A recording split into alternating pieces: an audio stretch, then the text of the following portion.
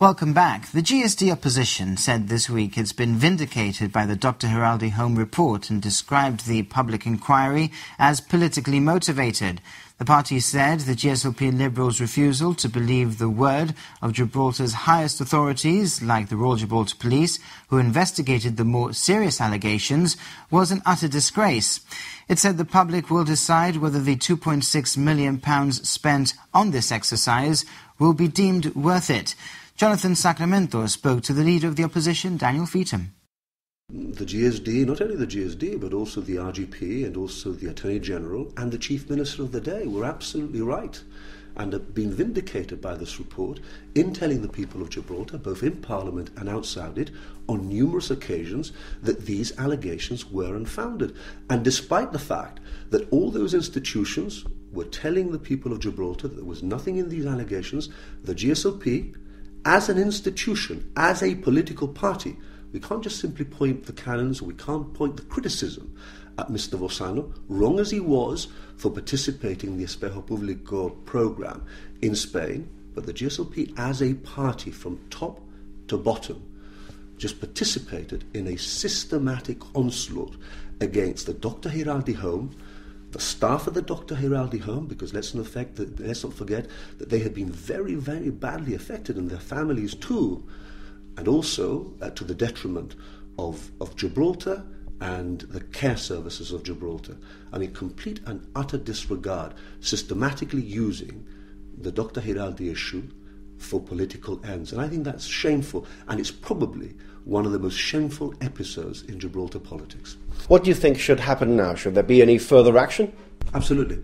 I think that Mr. Picardo should now, as leader of the GSLP, write to the Antena Tres, the authors of the Espejo Público program, and basically tell them that there's been a public inquiry and that the allegations that were made by members of his party on Spanish television were completely, utterly unfounded. I think that the MPs that are members of the government front bench who participated in that program should also issue a public apology. I mean, that's the least that they could do for dragging the reputation of both the staff and Dr. Giraldi home through the mud. What's the and most also, they could do? And also, I think that the 30, the allegations by the 35 trainees that are still pending for over a year now, for over a year now against Joanna Hernandez, that that should be expedited because there is absolutely no excuse for those allegations not to have been investigated uh, um, uh, as expeditiously as they have ought to. I mean, these are very serious allegations, and there they are. We still haven't seen a conclusion,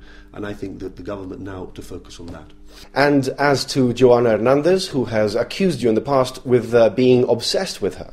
If uh, what is happening over the uh, over the uh, social media over the weekend is anything to go by, I mean, you know, uh, Joanna Hernandez really needs to look at herself in the mirror and needs to take stock and take a step back.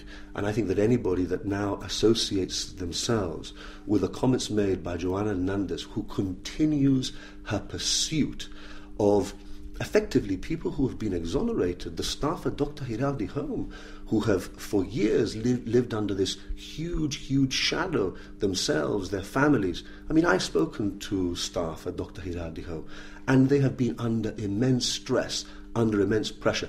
And yet she continues and continues, despite the fact she got what she wanted a, a, a public inquiry. And that public inquiry, by a very senior judge, found there was nothing to these allegations. Changes designed to address traffic problems during drop off and pick up at St. Joseph's School have received mixed reviews on day one. The pilot scheme has been introduced as part of the government's Sustainable Traffic, Transport and Parking Plan.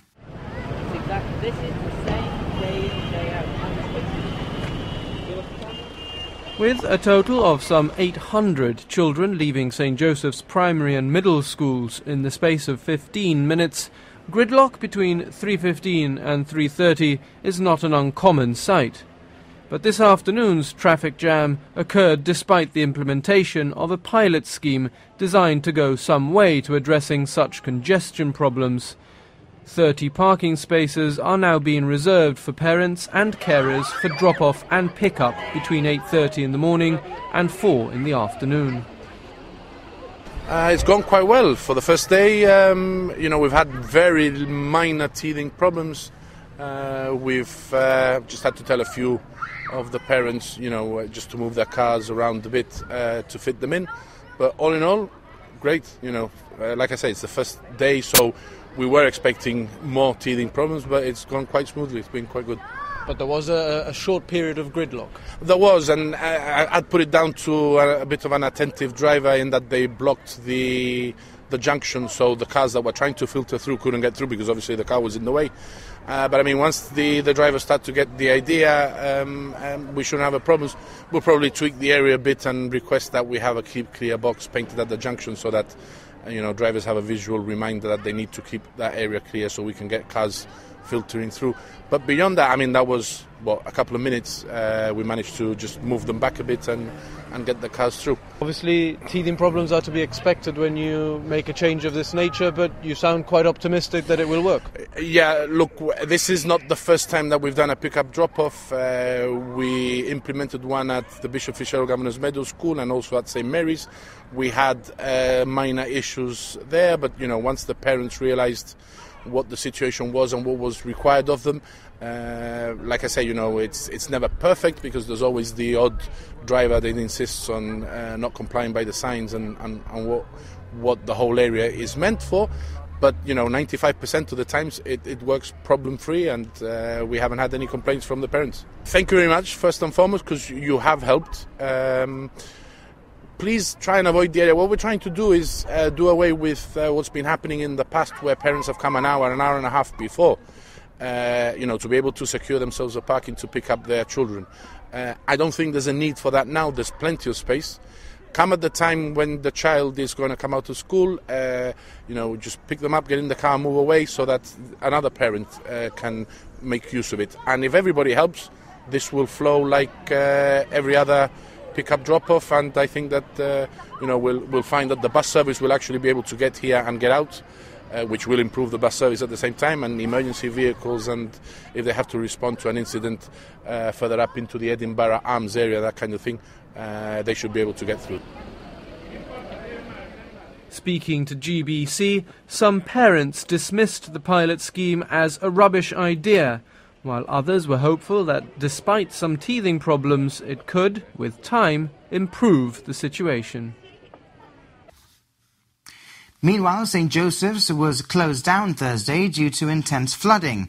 Teachers and assistants at the school put arrangements in place and all 800 children were collected by parents within an hour of the school having officially opened in the morning. When teachers turned up for work this morning, the main corridors were under six inches of water, which was seeping into the classrooms. Under the direction of the head teachers, they quickly mobilized to intercept parents who were dropping children off. Well, luckily the children weren't in yet, but as they arrived with their parents, being younger children, they did arrive with parents. We relied on the understanding of the parents to see what was happening and cooperate by taking the children home.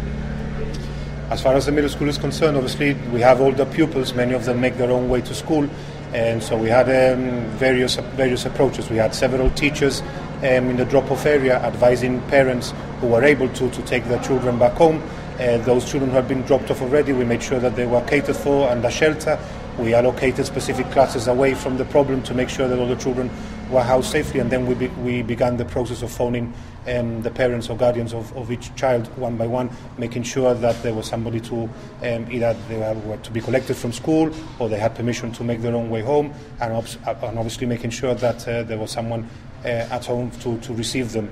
Um, and at the same time trying to get the message to the wider community through yourselves and, and the media to uh, try and, and, intercept parents who were perhaps making their journey uh, into school to turn back and, and make arrangements to, to keep their children at home.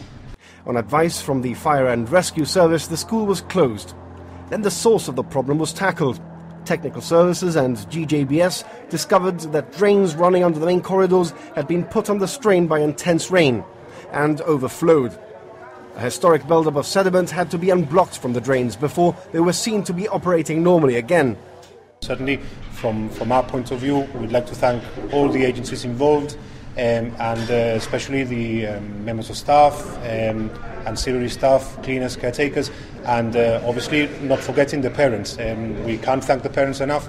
They have been very understanding. Uh, it was very reactive um, in the morning. We, we, we, could not anticipate this, this problem. We had to react to it um, when we when we arrived, and I think that the parents have been wonderful, uh, been able at very short notice to take their children home, come and collect them, uh, and uh, I'd like to thank them and, and also obviously apologise for any inconvenience that, that this problem ha- has caused. Thank you to the parents, thank you to everyone. Everyone's been brilliant.